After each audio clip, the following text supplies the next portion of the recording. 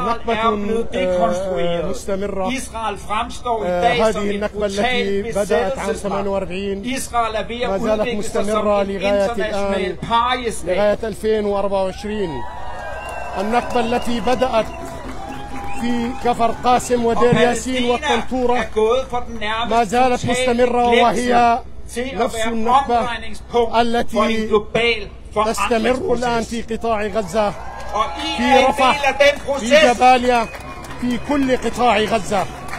نعم هذه الجماهير المحتشدة اليوم في أكبر الساحات في العاصمة الدنماركية كوبنهاجن. لبت نداء فلسطين. جاءت الآن لتتوجه إلى سفارة الكيان في كوبنهاجن. لتوجه عدة رسائل. وتحمل عدة رسائل. هذه الحشود التي جاءت تمثل معظم الجنسيات الدنماركية وفيهم من الأوروبية والفلسطينية والعربية والإسلامية جاءت لتوجه رسائل عدة. الرسالة الأولى تطالب بوقف هذا العدوان فورا على قطاع غزة. وبفتح كافة المعابر وإدخال المواد التموينية والطبية إلى قطاع غزة. جاءت لتقول أنه لا بد للقانون الدولي أن يأخذ وضعه الطبيعي توجيه كل هذه الأعمال التي يقوم بها قادة الاحتلال في قطاع غزة. من إبادة جماعية ومن قتل للأطفال والنساء والشيوخ من تدبير للبيوت على ساكنيها.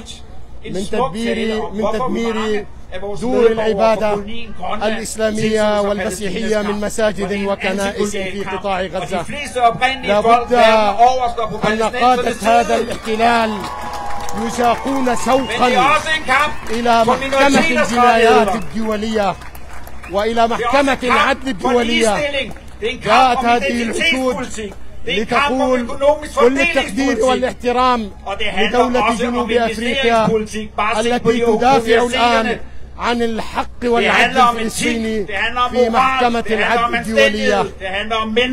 هذه الحشود جاءت تطالب بتطبيق قرارات الشرعية الدولية التي تعترف وتنادي بها الأمم المتحدة والاتحاد الأوروبي بالانسحاب الفوري والكامل من كافة الأراضي التي احتلت عام 67 حيث أن القانون الدولي يعتبر هذه الأراضي اراضي فلسطينيه قطاع غزة والضفة الغربية والقدس الشرقية.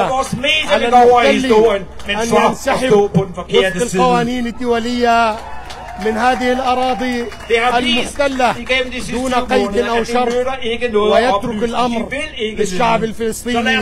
هذا الشعب العظيم الذي يقدم التضحيات الآن الجسام قادر على أن يدير شؤون نفسه بنفسه بمساعدة الأمم المتحدة والاتحاد الأوروبي وكل الإنسانيين والمخلصين من كافة أرجاء العالم لذلك. نحن الآن جئنا لنوجه رسالة قوية.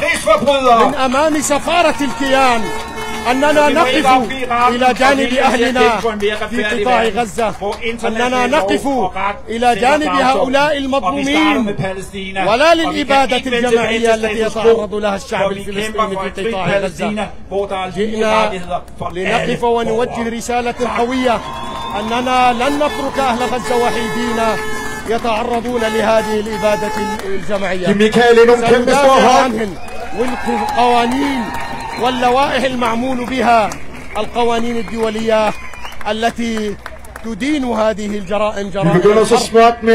يتعرض لها الشعب الفلسطيني الآن في قطاع غزة وفي عموم فلسطين لهذه الحشود الجماهيريه الغاضبه الان و من هذه الساحه الكبيره نحو سفاره الكيان لنعبر عن قضايانا جميعا باذن الله والسلام عليكم ورحمه الله وبركاته